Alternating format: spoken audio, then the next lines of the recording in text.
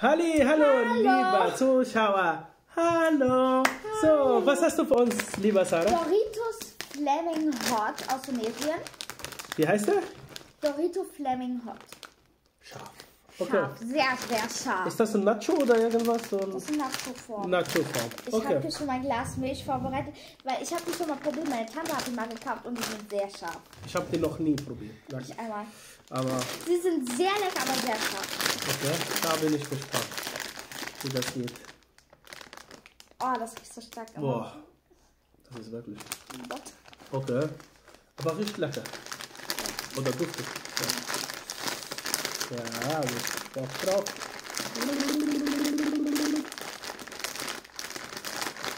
Ja, ja, rot, rot, rot, rot wie Feuer. Zeig mal bitte. Ah, mein lieber Mann. Äh, mein Bauchchen tritt. Hab an. Ich auch. So. Den kleinen erstmal. Guck mal, wie rot der ist. Das Meiner, sieht schon köstlich aus. meiner ist roter. Mm, mm. Wow. Wow. Ah, ah. Sehr lecker.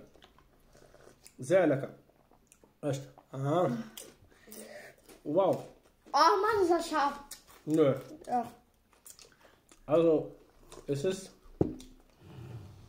Das hat nicht nur Schärfe, sondern das schmeckt auch sehr lecker.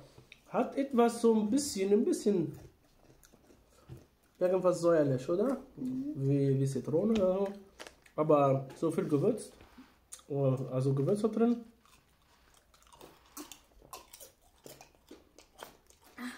Irgendwie so mexikanisch Art, oder? Ja, kann man. Also, ich finde es toll. Erste Mal probiere ich den, wirklich.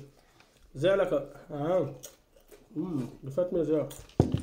Knusprig, Ich muss sagen, ich bin schärfer. Also ich Ja. esse ein bisschen scharf, aber so doll nein. das ist Hammer. Gut. Nein. Mm. So, lieber Zuschauer, wie heißt er? Doritos. Das Flaming ist Doritos Hot. Flaming Hot. Danke, dass ihr das geschaut habt und wir sehen uns im nächsten Video. Tschüss.